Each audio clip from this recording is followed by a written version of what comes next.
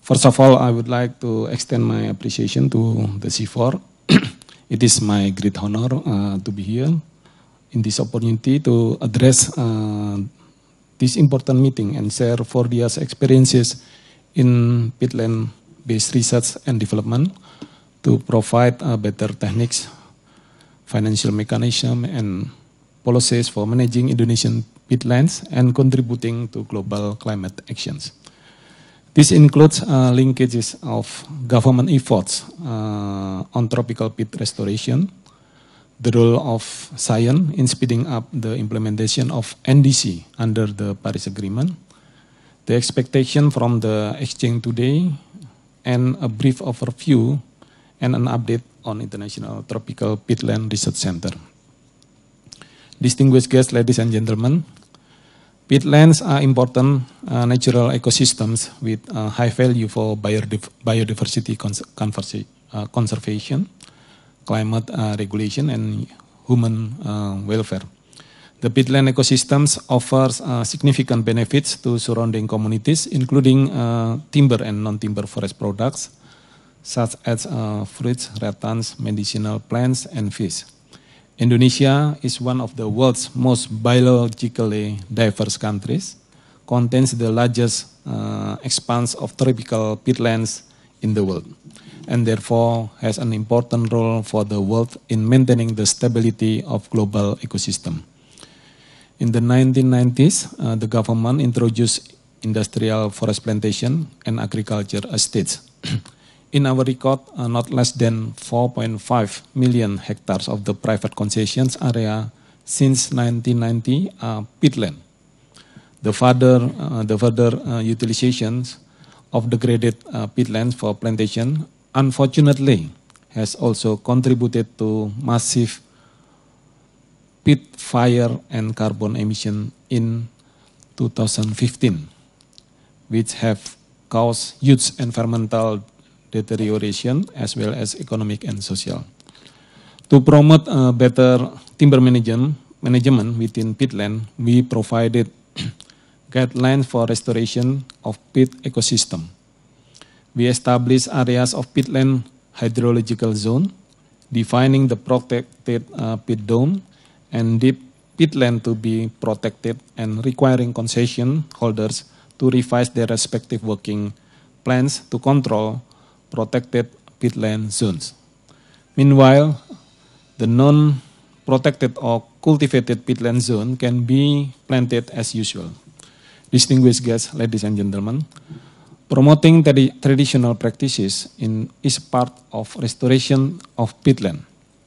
Currently, innovative community-based approaches like Desa Peduli Gambut is oh, or peatland managed by villagers are in practice which is developing governance structure based on the pit hydrological unit to ensure that pit domes are managed through ensuring the st stable uh, water level as a key scientific principle.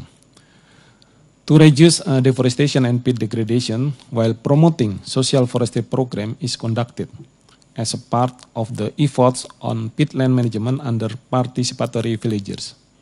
This led the equally reduce national deforestation rates by 24% from uh, 2016 to 2017 and vulnerability, vulnerability to fires by 32.8%. Forest and peatland is important element in NDC Indonesia. It covers 17% out of 29% of emission reduction up to 2030 in business as usual basis. Distinguished colleagues, in this two days exchanging uh, knowledge, knowledge and experience forum, I do hope all stakeholders can discuss many uh, ideas related to improvement for peatland restoration program. Network of the peatland like-minded will be enhanced. Knowledge of the current progresses in scientific and policy concerning the roles of peatlands will be improved and support from the international community for the establishment of an international center of excellence for tropical peatland research will be strengthened. Also, at this exchange knowledge, we need to support Peat Restoration Agency or Badan Restorasi Gambut as the restoration implementer agency to have better agenda on restoration with a clear, precise, and efficient restoration program. Distinguished guests, ladies and gentlemen, in these remarks, I will take the opportunity to explain a brief overview and update about the International Tropical Peatland Center or TROPPEAT. As you all understand that managing tropical peatland is a new political urgency that requires strong science support. This document briefly outlines a new international tropical peatland center to be based in Indonesia. There are some rationales on this idea. The first one is peatland is a central challenge. Climate change is the defining dilemma of our times. Storing 30 to 40 percent of global soil carbon deposit on only 3% of the world's land surface. Tropical peatland ecosystem are a key component of tackling this issue and crucial to preserve. Yet, tropical peatlands are diminishing more and more every day. there is an urgent need for interdisciplinary, coordinated, science-based national and international political responses that juggle with the development and climate objective of tropical countries. The second one is, the, is that uh, tropical peatlands are found in more than 80 countries, yet they remain among the least understood and monitored ecosystem in the world. Conducting new integrated research is paramount to informing proper prioritization between countries, sometimes competing objective of climate and development goals, and finding ways for peatland conservation, management, and restoration to serve as a plausible aid to both. Peatland management is more advanced in some countries than in others, offering valuable opportunities for South-South cooperation and the sharing of lessons learned in such policy and decision-making processes. To this end, establishing an international tropical peatland center in the global south is essential at this point in time to develop interdisciplinary and integrated research for development focus on peatland, to build capacity of human resources in managing peatlands, and to co collaborate with peatland-based industries.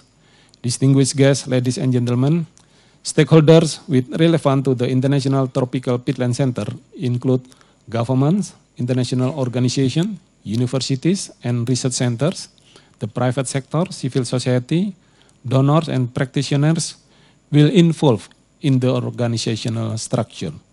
In line with the government of Indonesian large political interest to establish such a center, it will be, it will be based in Indonesia. Leadership will adopt a learned structure, including coordinator and international steering committee.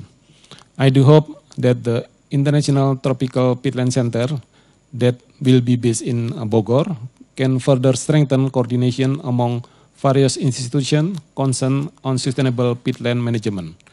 And I do hope uh, CIFOR will be a part of uh, the main actors to uh, establish the International Tropical Peatland Center. I thank you. Wassalamualaikum warahmatullahi wabarakatuh.